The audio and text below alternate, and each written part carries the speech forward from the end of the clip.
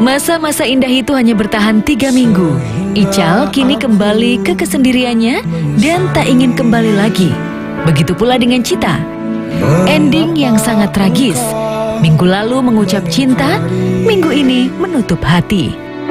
ambil hikmahnya lebih selektif lah lebih selektif lebih lebih berhati-hati lagi gitu kan secara uh, umurku juga udah udah 25 tahun nih tahun ini gitu loh. Gue doain yang terbaik buat buat Cita ya. Terus uh, sukses. Terima kasih banyak dukungannya, support dan semuanya. Cinta bagiku